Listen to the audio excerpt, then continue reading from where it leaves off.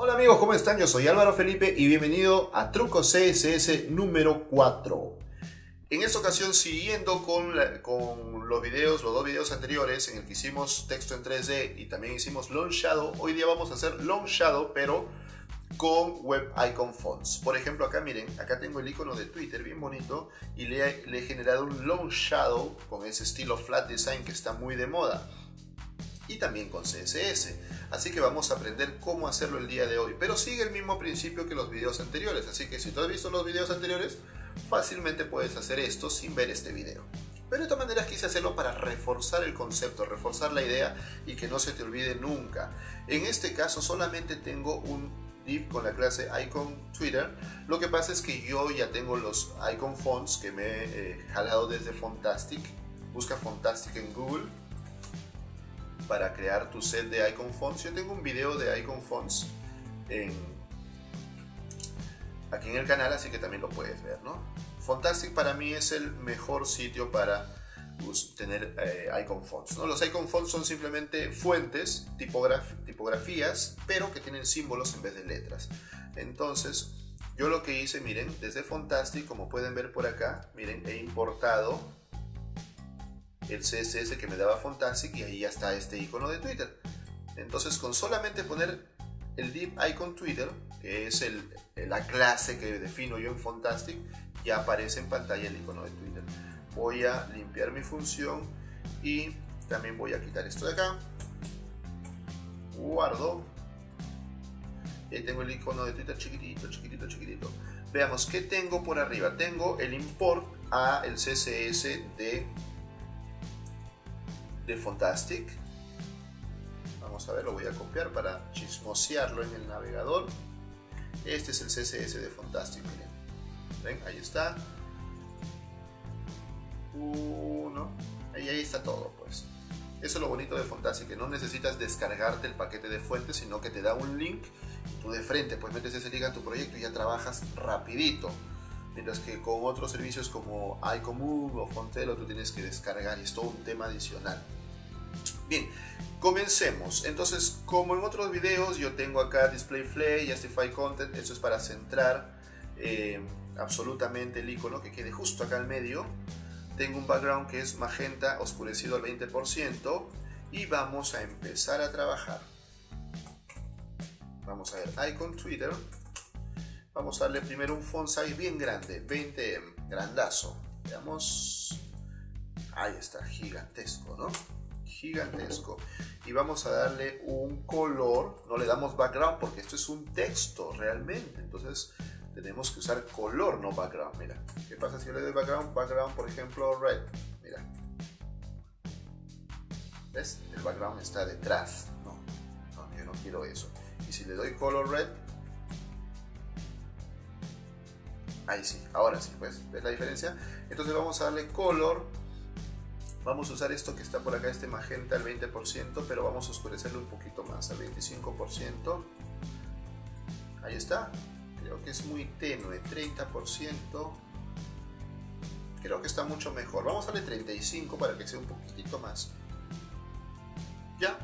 Muy bien. me parece mucho, incluso 30 nomás. Ya.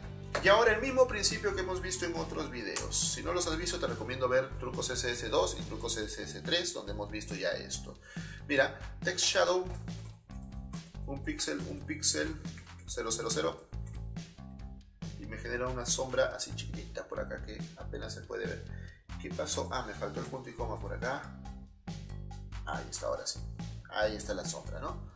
Entonces yo puedo seguir con comas poner 2px, 2px, 000, 3px, 3px, 000, 4px, 4px, 000, así hasta que me dé un calambre en la mano de tanto escribir. ¿no? Claro, pero como nosotros no estamos en la prehistoria del CSS, vamos a usar SAS para crear una función que nos haga múltiples text shadow. Y eso ya lo hemos visto en dos videos, así que vamos a hacerlo un poquito más rápido. Vamos a declarar mi función, función, y vamos a darle un nombre. Ese nombre va a ser eh, icon long shadow. Ya tú le puedes llamar como quieras, ¿no? Ese es el nombre que yo le estoy dando. Igual paso mis parámetros que sería un número y un color y luego comienzo. ¿Cómo, voy a, cómo va a funcionar esto? Con text shadow, ¿no? Entonces voy a crear una variable llamada text shadow y voy a darle un valor inicial, un píxel, un píxel eh,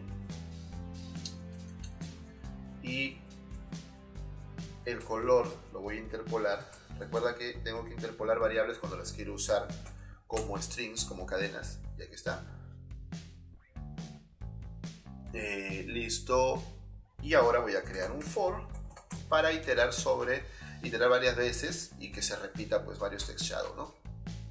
For con la variable i que va a ser el índice que se va, que va a cambiar de valor, va a cambiar de valor desde 1 hasta hasta el número que yo elija. En este caso no tengo que interpolar la variable porque la quiero tomar tal cual como número. Si la interpolo va, a tomarse como cadena, como es como texto y no va a funcionar mi for. Bien. Y entonces, como ya hemos hecho, vamos a copiar text shadow acá y vamos a hacer primero que se repita, es decir, que tome, que tome el primer valor como inicial, luego con una coma ponemos el siguiente valor que va a ser en este caso y px y px, bueno acá me faltó el signo dólar. Las variables en SAS siempre tienen dólar como php y px y px y luego vamos a interpolar vamos a interpolar eh, la variable color. Y listo. Y como ustedes saben por último tengo que retornar. Esto es de programación básica. Si yo no retorno el valor no lo puedo usar. Entonces tengo que retornar el valor de text shadow pero recuerden que tengo que ponerle comillas acá para que me tome todo esto de corrido porque si no acá la coma esta comita de acá me va a dar un error al compilar. Entonces pero si yo lo pongo como cadena SAS no se hace problema si me toma todo como una sola cadena. Y ya luego al devolver el valor pues le pongo unquote para quitar esas comillas ¿no? unquote text shadow. Listo ya lo tengo y ahora lo único que hago acá es irme y poner text shadow y pasar mi función ¿no? icon launch shadow y paso mis parámetros. Por ejemplo 20 y luego un color 000 por ejemplo un negro puro. Veamos si funciona. Ahí está miren qué bonito ha funcionado. Incluso yo podría si quieres no usar esto como 3D perdón como launch shadow sino como 3D mira le da un aspecto 3D bien simpático no bien simpático pero yo no voy a usar negro puro porque se ve muy fuerte voy a usar magenta pero no al 30%, sino al 35%, un poquito más oscuro. Veamos, ahí está, 45. Mucho, mucho, mucho, ya parece negro. 40, ahí está, perfecto. Y esto yo lo puedo hacer crecer. 300. Ahí tengo mi shadow, qué lindo, qué fácil. Ahora, algo que no hemos visto en los videos anteriores, pero ya es cosa de que tú explores, de todas maneras lo voy a ver, es que yo podría cambiar acá los valores. Mira, que el primer valor sea menos menos y acá poner menos, menos. ¿Qué va a pasar? A ver, guardo. Y mira, ves, la sombra se va hacia otro lado. ¿Y qué pasa si pongo menos solamente en uno? En uno de los valores. Pongo menos solamente en el horizontal. Guardo. Ah, ¿Ya ves? Es cosa ya de tu imaginación, de tu creatividad para que tú trabajes con esto. Entonces amigos, eso ha sido Trucos CSS número 4, Launch Shadow aplicado a Icon Fonts. Espero que les haya gustado y que lo puedan aplicar a sus proyectos y dejen a la gente así con la boca abierta con este truco que seguramente les va a servir. Yo soy Álvaro Felipe, no te olvides suscribirte a este canal si es la primera vez que vienes por acá. También recuerda que abajo están nuestras redes sociales en Facebook y Twitter para que nos sigas y nos podamos comunicar. Y también nos puedes escribir a escueladigital.p slash contacto para solicitar apoyo en, en algún proyecto o pues la gestión de algún proyecto que tú necesites. Nos vemos en el siguiente truco CSS.